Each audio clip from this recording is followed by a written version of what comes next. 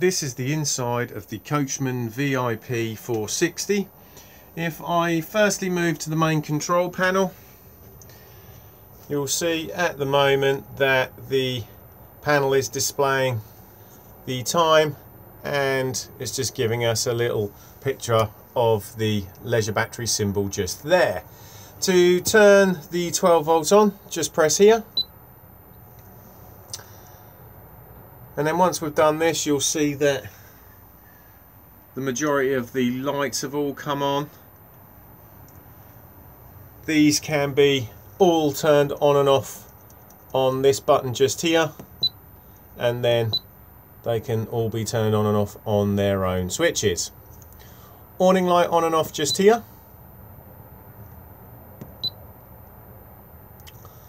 Water pump on and off just here. The water pump needs to be on so you can get water out of the taps and fill the boiler if it has been drained down. All other information is then given via scrolling. So we have the settings menu just there. To get into that, just press the enter button. And then within that, we can change the display, so the contrast, etc. We can turn button beeps on and off. The temperature displayed either in Celsius or Fahrenheit. You can turn notifications on and off. So for example, literally if your leisure battery is low, etc., it will let you know. Same if the water pump is running, as you can see.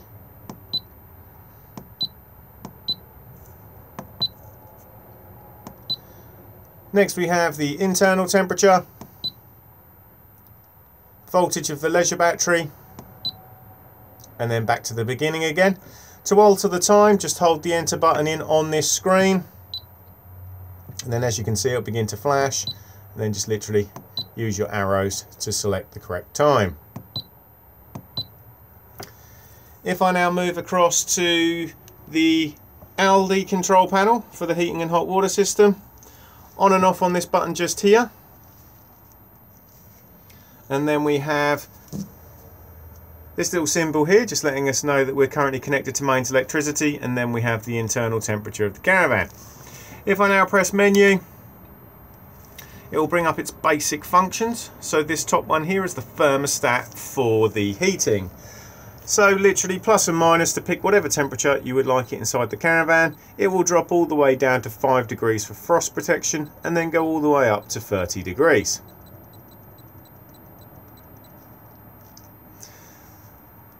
Next, with the little picture of the shower head, we have hot water. So hot water off, hot water on, and then hot water in boost mode. The boost mode was mainly designed for if there's going to be more than one of you having showers in quick succession of each other, or if you just want hot water very quickly. If you do perform the boost and the heating is running, it will turn the heating off as it needs to use that extra power. So even though now I've turned the heating on at 22 degrees and I've also put hot water on, the system hasn't actually fired up yet because we now need to give it a power source.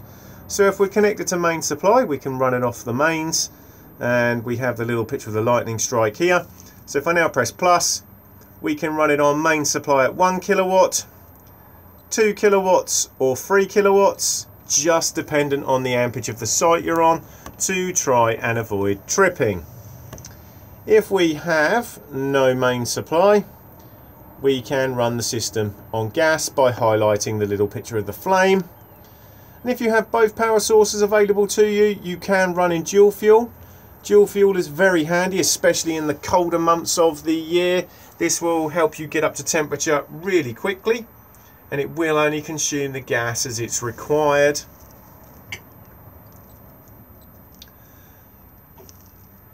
ACC cannot be accessed, this can only be used by technicians. And if I now press the little picture of the cog, we will go into the settings menu. So you'll see there that we have a picture of a moon and a sun. So we have night mode. We can turn night mode on and off just up here. We can set the temperature that we would like the heating to be for that mode We can then set when we would night, like night mode to begin and whether it's for all days of the week or just individual and then when we would like night mode to end. We can also, by highlighting this one here, invert the backlight. So the, during night mode, this screen goes from the white colour to a black screen with white writing.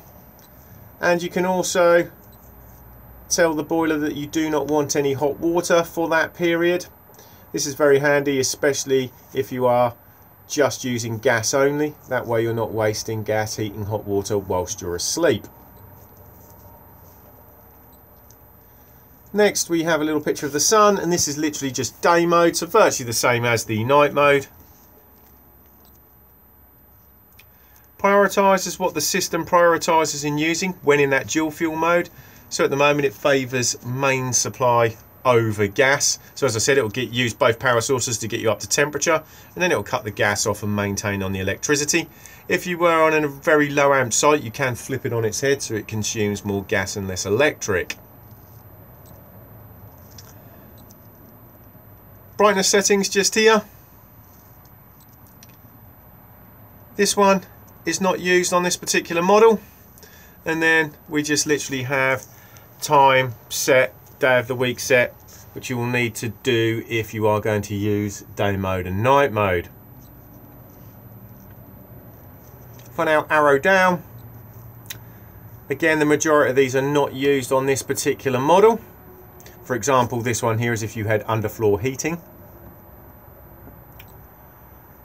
This one here is called antimicrobial. If you activate this, what will happen is um, you do have to be using night mode as well in conjunction with it. And then in the middle of the night, the boiler will turn itself on, heat itself up rapidly to kill off any bacteria that may be in the system. Temperature offset for the internal thermostat for the heating. So if you don't think it's quite correct, you can just slightly adjust it here high altitude mode so if you are using the caravan a thousand or more meters above sea level just activate this to make the system run efficiently. Key beeps on and off just here. And then we have one delayed start and stop to the system. So if you want to you can literally turn it on just up here and then you can set the system to say come on uh, Monday nine o'clock in the morning and then continue to run until Saturday at say seven in the morning. Pump settings just here for the heating system, just literally leave it on thermal. You only want the fluid to be flowing round the radiators when it's required. Factory reset, so if there is a problem with the system, you can just reset it here. External start you do have to have additional sim boxes added if you wanted to control the heating and hot water system via an app. We then have language service which again is more for the workshop but you can see what everything is up to so you'll see at the moment that the ethylene glycol for the radiators is at 69 degrees and the water temperature is currently 67 degrees installed accessories really there's only one in here that is of any use that hasn't already been activated, which is this one here. This is the load monitor. So if I now go back up, you'll see that we can access it. And if I now go on it, so if you arrive on a site and you know how many amps the site is, you can literally put it into the load monitor. So let's say it's a 10 amp site. It now doesn't matter if I ramp everything up to 3 kilowatts because that load monitor now takes effect and it will not allow you to pull that because if you were trying to pull 3 kilowatts from stone cold on a 10 amp site you would definitely trip and it will go right the way up to 17 amps not that you would find that on a site the most you would find is 16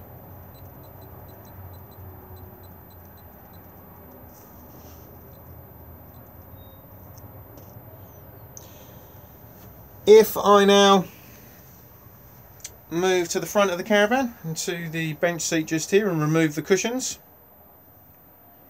You can now see the Alde boiler just here. So with the Alde boiler to drain it's basically down for winterization or just for travel. It's done on the two yellow drain valves just here. So before draining it down, firstly just make sure that the water pump has been turned off. And then you'll see that we have the hot feed just here. So if I now just lift that up, it will drain that section. And then I can drain the cold feed just here. Once we've done this, the boiler will then drain itself off. I always suggest that if you are fully winterizing the caravan, that you also come to all of the taps and open them all up as well, because this will help release any airlocks in the system and help it drain down far more efficiently. When it comes to refilling the boiler back up again, close all the taps, close the drain valves again, fill up the Aquaroll, drop in the submersible and then turn on the water pump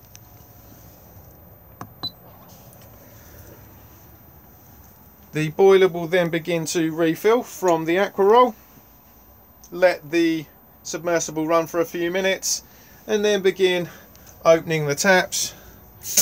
They'll cough and splutter as they force all the air out. Once they're then running freely on both hot and cold, reclose and then the system will fully reprime itself. If on the Alde control panel you ever get a notification saying either red overheat or PCU overheat, you will not be able to reset it on the control panel itself. What I suggest that you do is you come to the panel just here and remove it. And then this little moldy plug here, just remove it, leave it out for about three minutes and then plug it in. And usually nine times out of 10, the system will then fully be restored and power back up again. If you've done this two or three times and you're still getting the same message, there is something more sinister going on with the boiler and it needs to be looked at by a technician. You will also find in here the boiler's main fuse as well. Also underneath here we have the control board for the Powrtouch motor mover. The back of the battery box just here. The majority of the gas isolation taps for the caravan as well. So we have the fridge heating and hot water and the cooker all in the on position and quite frankly they can stay like that I always say if you do smell gas in the caravan just go to the source and turn off the gas bottle we have the consumer unit just here so if I now just flap the front down, you will see that we have the main strip switches just along the top here. So we've got the individual MCBs, main RCD and test button just here. So if anything is not working on main supply, just check to see if you've blown, um, sorry, check to see if you've tripped. If you've got something not running on 12 volt, just check to see if you've blown a 12 volt fuse just down here and again they are all labelled up. On the top here is basically where the battery charger is located so just make sure that this bit here just has some ventilation to avoid it overheating.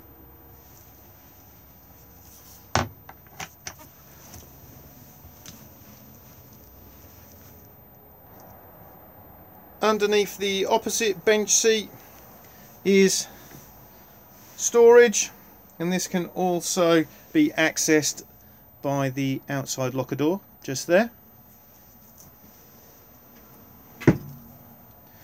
Tucked down here we have the PIR sensor for the alarm. Just press the button every now and then just to make sure that it is operating because it is wireless and just requires some batteries.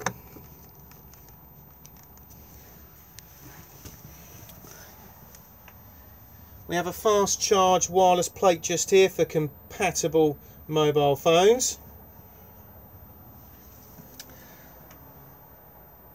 And then we have the radio just here. So on and off on the button that says SRC. Volume control just here.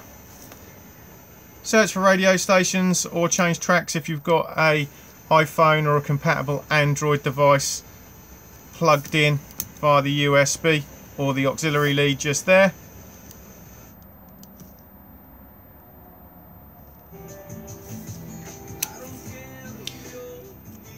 To alter anything, just press the volume button in and then you get into the radio's menu so you can change the audio, the illumination, go into its system menu. I always suggest that you go into the system and that you put power save on because that way when you go to turn the radio off it will then turn itself completely off and you basically the display then won't continue to run. The aerial for the radio and for the television is just located in the overhead locker just here. So with the aerial itself, just undo the collar to lower and raise it. This green window here represents the back of the aerial, so you know which way it's facing. And H stands for horizontal. By turning this tail here, you can flip the aerial into a vertical position if you need more additional tuning. Always make sure that the aerial is back down and secured for travel. Try to avoid over tightening this collar here because you do run this, the risk of splitting the plastic. The digital amplifier for the TV and radio is just here on and off. Do make sure it's on before trying to tune in a TV and then control the boost just here. If you are going to be using the external TV socket and it does explain about it just on the sticker just there you just need to remove as it shows on here literally just if connecting an external aerial connect the loose black coax cable to the input on the TV signal amplifier so literally you're just taking out this one here and then plugging in this one here. This switch here just controls the courtesy light on this side of the caravan.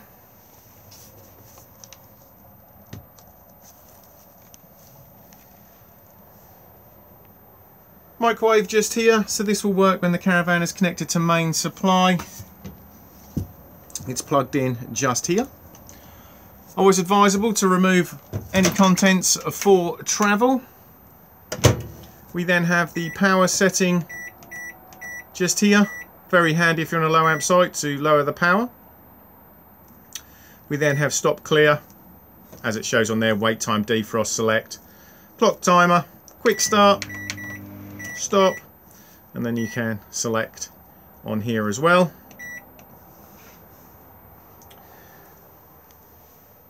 Dometic fridge just here. So to operate this, firstly turn it on just by pressing and holding the button in. This is an automatic model, so as long as you are in auto, it will find the best power source it can for you. So because we're currently hooked up to main supply, it's put us onto mains with a little picture of the two pin plug. If I was to now run outside and pull the mains lead out, it would then automatically attempt to fire itself up onto gas and as soon as we hitch ourselves up and connect uh, the electrics to a tow vehicle and start the engine it will then automatically go over to 12 volt maintain to keep the fridge cold whilst on the move to alter anything just come to the dial just here and just press it in then as you can see as I twist I can then move. So this top one here is just to alter the temperature. Next, we can take it out of auto if we want to. So as you can see, we've got auto there. We've got 12 volt maintain, gas, and main supply. And then come back out again. If there's a problem in any shape or form, so if I select 12 volt maintain for the moment, you'll now see we get this red bar it's all flashing and we've got an error code just there because we're currently not connected up to a tow vehicle with the engine running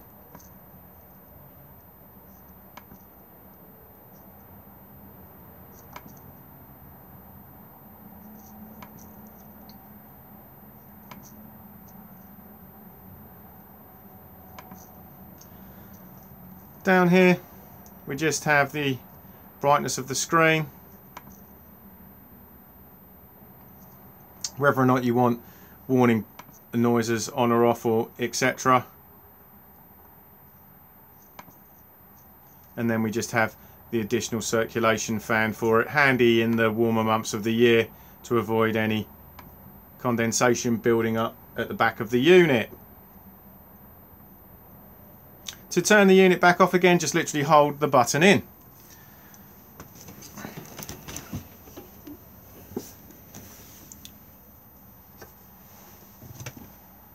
Removable freezer compartment at the top here.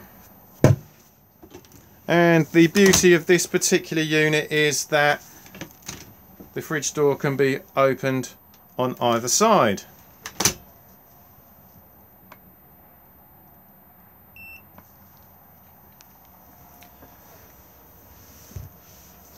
Two main sockets just here, USB charging, and then we have literally 12 volt plug-in point if you're going to be running a 12 volt TV. And then we have the aerial fly lead point just there. And satellite connection as well.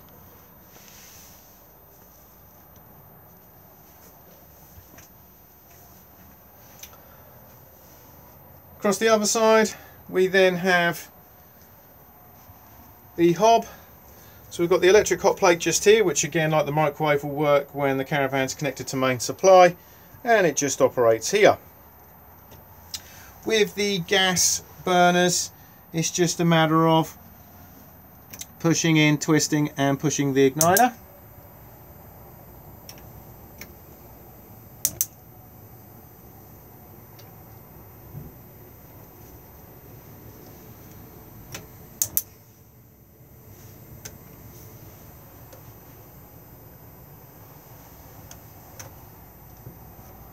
Beneath that we have the grill.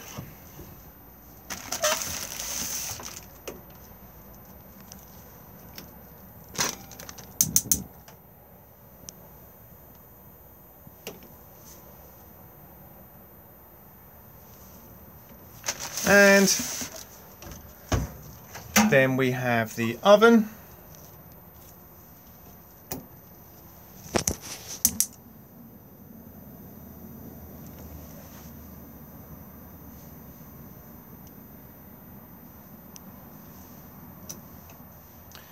There is also a light for the oven as well.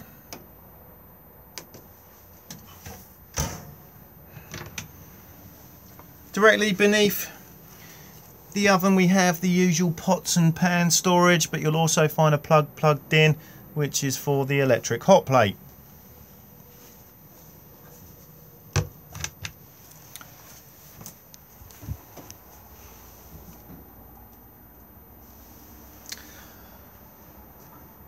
Above my head just here is the Omnivent fan. So to operate this, firstly wind the roof vent open. And then we have middle button to turn the unit on. And then we have arrows out for extraction and arrows in for cooling. And it's variable fan speed just by pressing.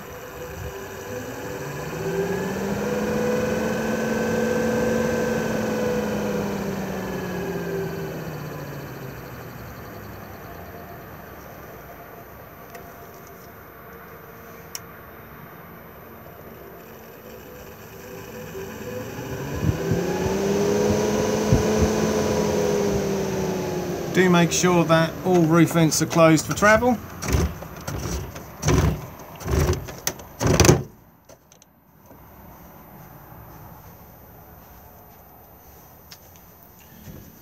Through to the rear of the caravan we have the washroom. So in the wardrobe just here we ha also have the freestanding table. We then have the nice spacious shower.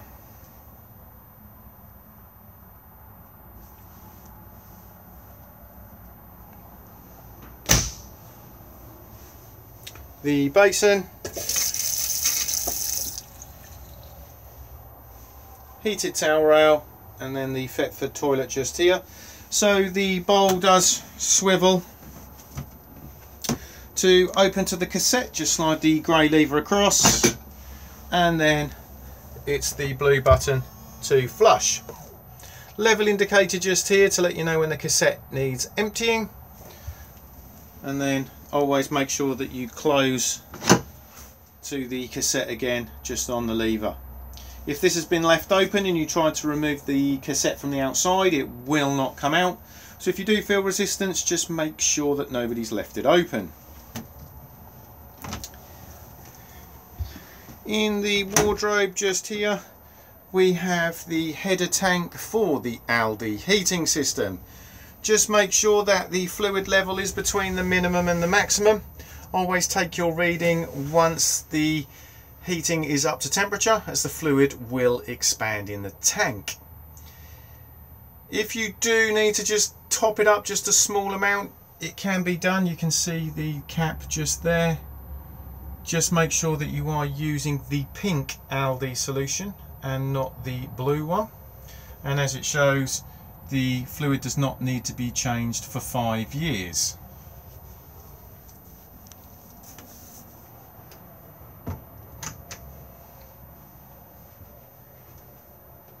With the beds in this particular model you can either have two good size singles or you can have a double and with the double it's nice and easy.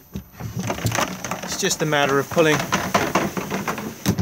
the slats across and then just dropping in the backrest cushions.